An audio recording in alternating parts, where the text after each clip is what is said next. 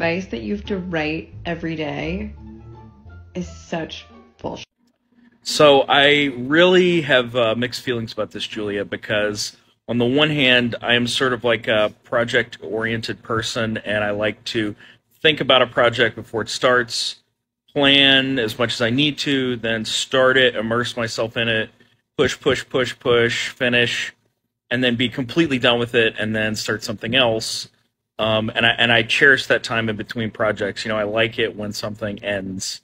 Um, but as much as my brain is sort of built like that, uh, I have found immense value in the practice of having a set time every day, a set place, um, a set you know routine where I just get up and I just write whatever it is. Is it always the screenplay that uh, I'm currently trying to finish? No, sometimes it's a blog post, or sometimes it's um, you know, sometimes it's bullshitting on Reddit.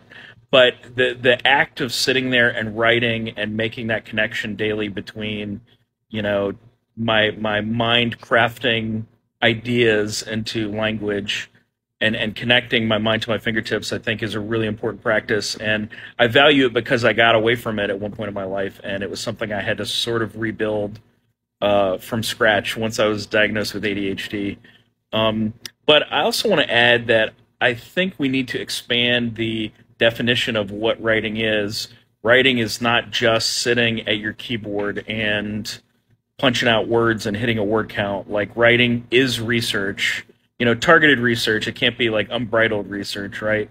But uh, it is research. It is walking around and thinking. It is uh, driving and thinking. It is uh, reading and thinking. You know, the, these these are all integral parts of writing to me. Um, so I think we need to just sort of expand our definition of like what writing is, and I do think we need to sort of think about the project every day, even if we're not putting pen to paper, um, having that sort of continuity um, every day, uh, I think helps lead to the finish line faster. Am I wrong about that?